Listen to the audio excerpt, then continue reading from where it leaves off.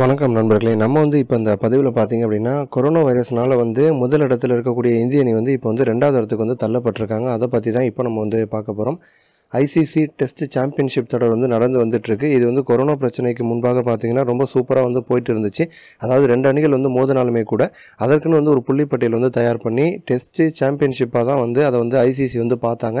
ஆனால் கொரோனா பிரச்சனை வந்த பிறகு பார்த்தீங்க அப்படின்னா பல தொடர்கள் வந்து பாதிக்கப்பட்டுச்சு. தற்போதைய நிலவரப்படி இந்திய அணி வந்து முந்நூற்றி அறுபது புள்ளிகளோடு வந்து முதல் இடத்துல வந்து இருந்தாங்க. இரநூத்தி தொண்ணூற்றி ஆறு புள்ளிகளோடு வந்து ஆஸ்திரேலிய அணி வந்து ரெண்டாவது இடத்துல வந்து இருந்தாங்க. ஆனால் வந்து இந்த கொரோனா பிரச்சனை வந்த காரணத்தினால இந்த புள்ளிப்பட்டியலில் வந்து புதிய ஒரு மாற்றத்தை வந்து கொண்டு வந்தாங்க. அனில் கும்ளே தலைமையிலான ஒரு குழு தான் பார்த்தீங்க அப்படின்னா புதிய மாற்றத்தை வந்து கொடுத்துருக்காங்க. இந்த புதிய மாற்றத்தின்படி பார்த்தீங்க அப்படின்னா முந்நூற்றி அறுபது புள்ளிகள் இந்திய அணி வந்து வாங்கியிருந்தாலுமே கூட இப்போ வந்து இந்திய அணி வந்து ரெண்டாவது இடத்துக்கு வந்து தள்ளப்பட்டிருக்காங்க. ஆஸ்திரேலிய அணி வந்து முதல் இடத்துக்கு வந்து போயிருக்காங்க. இந்த குழு வந்து என்ன சொல்லியிருக்காங்க அப்படின்னா ஜெயிச்சது ஜெயிச்சதுக்கு கிடைச்ச பாயிண்ட்டை மட்டும் வச்சு புள்ளிப்பட்டியல் வந்து தயார் பண்ணாமல் வெற்றி சதவீதத்தை வச்சு பார்த்தீங்க அப்படின்னா புள்ளிப்பட்டியல் வந்து தயார் பண்ணியிருக்காங்க. அந்த வகையில் வந்து ஆஸ்திரேலிய அணி வந்து இரநூத்தி தொண்ணூற்றி ஆறு புள்ளிகள் வாங்கியிருந்தாலுமே கூட அவங்களுடைய வெற்றி சதவிகிதம் பார்த்தீங்கன்னா ஜீரோ புள்ளி எட்டு ரெண்டு ரெண்டாக இருக்குது இதனால் வந்து அந்த அணி வந்து முதலிடம் வந்து பிடிச்சிருக்காங்க.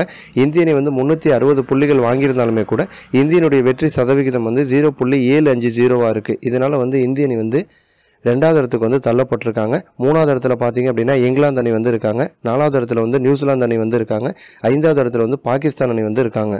டிசம்பர் பதினேழாம் தேதியிலிருந்து பார்த்தீங்க அப்படின்னா இந்தியா மற்றும் ஆஸ்திரேலியா அணிக்கு இடையான டெஸ்ட் தொடர் வந்து தொடங்குது. நாலு போட்டிகள் கொண்ட டெஸ்ட் தொடரில் வந்து ரெண்டு அணியும் வந்து மோதுறாங்க. இதில் வந்து நாலு டெஸ்ட் போட்டியில் வந்து இந்திய அணி வந்து ரெண்டு அப்படி இல்லைன்னா வந்து மூணு டெஸ்ட் போட்டிகளில் வந்து ஜெயிச்சாங்க அப்படிங்கிற பட்சத்தில் ஆஸ்திரேலிய அணியை வந்து பின்னுக்கு தள்ளிட்டு திரும்ப வந்து இந்திய அணி வந்து முதலிடம் பிடிப்பதற்கான வாய்ப்பு வந்து அதிகமாக இருக்குது ஆனால் ஆஸ்திரேலியா மண்ணில் வச்சு ஆஸ்திரேலிய அணியை வந்து வீழ்த்துறது அப்படிங்கிறது வந்து ரொம்ப எளிமையான ஒரு காரியம் வந்து கிடையாது. அந்த மாதிரி சூழலில் வந்து கொரோனா பிரச்சனையால் வந்து அதிக புள்ளிகள் வாங்கியிருந்தாலுமே கூட இப்போ வந்து இந்திய அணி பார்த்தீங்க அப்படின்னா ரெண்டாவது இடத்துக்கு வந்து தள்ளப்பட்டிருக்காங்க. திரும்ப இந்திய வந்து முதலிடத்தை பிடிக்கிறாங்களா அப்படிங்கிறத நம்ம வந்து பொறுத்திருந்து பார்ப்போம். இது போன்ற இன்னும் பல கிரிக்கெட் சம்பந்தமான முக்கிய செய்திகள் வந்து நீங்கள் தெரிஞ்சுக்கணும் அப்படின்னா நம்மளுடைய சேனலை வந்து சப்ஸ்கிரைப் பண்ணுங்கள் நன்றி.